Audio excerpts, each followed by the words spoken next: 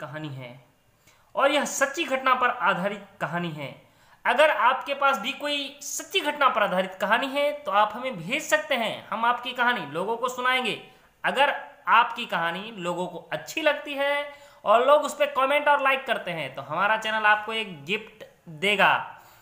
मित्रों, काली डाइन की कहानी सुनने के लिए आप हमारे चैनल को सब्सक्राइब करें लाइक करें। ऐसी ही कई प्रकार की कहानियाँ हम आपको सुनाते हैं। आइए शुरू करते हैं काली डाइन की कहानी। कहते हैं कि एक गाँव में एक औरत रहती थी, उसका कोई भी पुत्र नहीं था। और वह गाँव के सरपंच की पत्नी थी।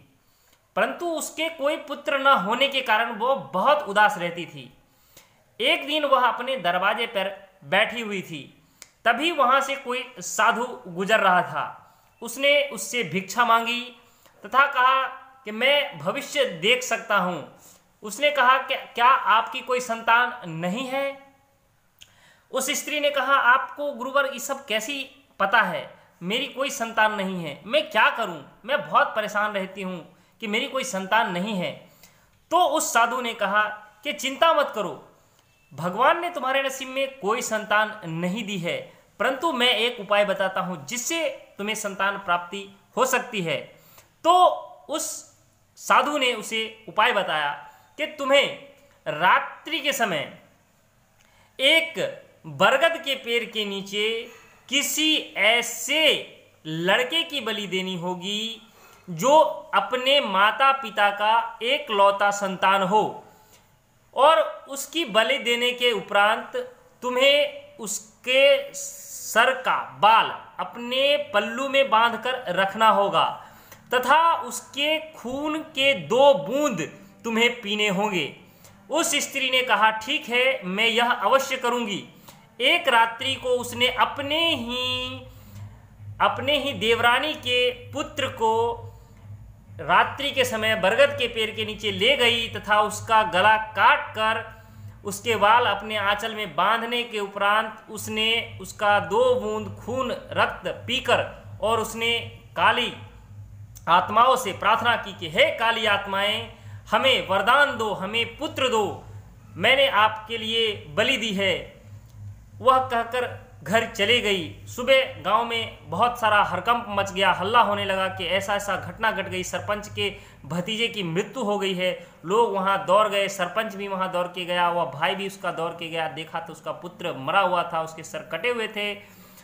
वह सरपंच अपने घर को गया तो देखा उसकी पत्नी अच्छे अच्छे पकवान बना रही है तथा खुश है। तो उसने कहा कि अपना भतीजा मर गया और तू इतना खुश क्यों है?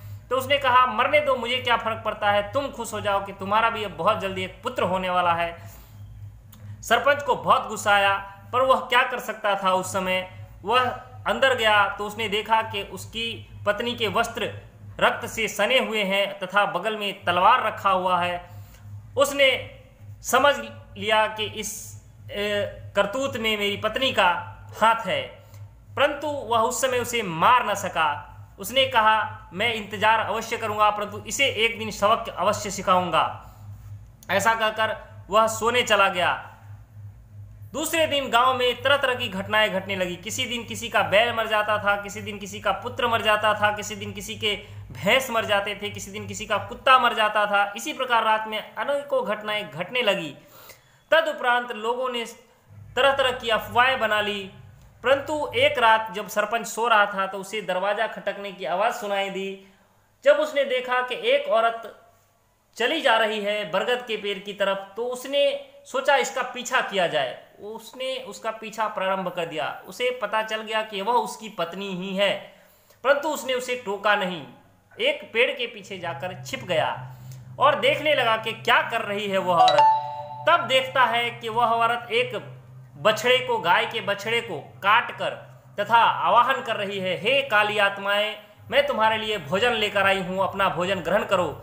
और क्या देखता है कि उसकी पत्नी, वह गाय के बछड़े को दनादन खाए जा रही है। उसके पूरे शरीर में झुंझुनाहट उत्पन्न हो गई, परंतु उस समय उसने कोई निर्णय नहीं लिया और पूरे गाँव में जाकर उसने कहा कि, मैंने डायन को देखा है, चलो डायन को आज मार देते हैं। सब लोग लाठी लेकर वहाँ पहुँच गए। देखते हैं तो वह क्या सरपंच की पत्नी ऐसा कर्म कर रही है। तब तक सरपंच ने कहा, देख क्या रहे हो, मारो इसे और ख़त्म कर दो इस डायन को। लोग जब उसे मारने के लिए दौड़े तो वह उस कुएँ में गिर पड़ी। कुएँ में गिरते समय उसका आंचल एक लकड़ी से फंस गया तथा कुएँ में वह लटक गई। जब उसने चिल्लाना शुरू किया कि, मुझे बचा लो। तो लोगों ने कहा तुम्हें तुम्हारे कर्म की सज़ा मिल रही है, छोड़ दो इसे, इसी प्रकार यह मर जाएगी। लोगों ने उसे वहीं छोड़ दिया। वह मरते मरते कह गई, मैं तुम लोगों का जीना हराम कर दूँगी, तुम्हें जीने नहीं दूँगी, तुम्हें पानी पानी के लिए तरसा दूँगी, तुम्हें तुम्हारे गाँव को मैं श्राप देती हूँ, तुम्हारे गाँव को मैं बीमार कर दूँगी, तुमने मुझे नाम दिया है काली डायन तो मैं तुम्हारे पूरे पूरे के पूरे गाँव को खत्म करके शमशान बना दूँगी। कुछ दिन तक तो सब ठीक बीता, परंतु कुछ दिनों बाद कुएँ का पानी सूखने लगा, गाँव के नलों का पानी सूखने लगा। लोग त्राही त्राही करने लगे। जब उस कुएँ में देखा तो वहाँ पानी था। लोगों ने सोचा कि इस कुएँ से ही पानी उठाकर पिया जाए। जब लोगों ने उस कुएँ से पानी पिया तो कई तरह की बीमारियाँ लोगों को लगने लग गई। किसी को चर्क हो गया, किसी को बीमारियाँ हो गई तरह तरह की कोई मरने लगे, किसी का शरीर गलने लगा कोड़ फूट गए। इस प्रकार से कई बीमारियाँ होने लगी, तब कुएँ से आवाज़ आने लगी। मैंने कहा था, तुम लोगों को मैं बर्बाद कर दूँगा, पानी के बूंद बूंद के लिए तरसा दूँगा, तुम्हारे पूरे गाँव को मैं शमशान बना दूँगी तो मैं आ गई हूँ वापस और तुम लोगों को बर्बाद कर दूँगी। मैं लोग भागने लगे, डरने लगे, क्या करे? कुछ दिनों बाद वहाँ से एक संत गुजर रहे थे। लोगों ने संत के सामने अपनी पूरी दुविधा कह सुनाई। संत ने कहा, चिंता मत करो, मैं उस कायल डाइन से तुम्हारा पूरा पीछा छुड़वा दूँगा। संत कुएँ में उतर गए और उतर कर जब देखा तो कुआँ पताल की तरफ़ जा रहा था। संत उसके नीचे जाते रहे जाते रहे। जब देखने लगे कि वहाँ पे एक डाइन बैठी हुई है, बाल उसके खुले हैं। जब डाइन के ऊपर उन्होंने हमला किया तो डाइन वहाँ से गायब हो गई और साधु नीचे गिर पड़े तथा उन्हें चोट आई। तब साधु ने आँख बंद कर कर भगवान का स्मरण किया तो मुझे वह डाइन दिखाई देने लगी। उन्होंने उस डाइन का सर का बाल काट लिया तथा उसे उन्होंने हथियार से मार गिराया तथा उसके सबको जो सर चुका था, उसे ऊपर लेकर आ गए तथा लोगों से कहा कि इसे तुम जलाकर नष्ट कर दो, तुम्हें मुक्ति मिल जाएगी इस काली डाइन से।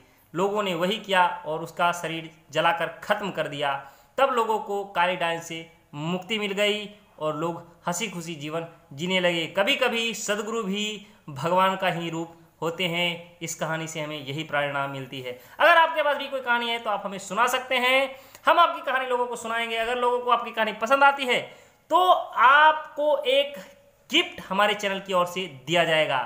तब तक हमारे चैनल को सब्सक्राइब करिए, लाइक करिए और कमेंट अवश्य करिएगा। धन्यवाद।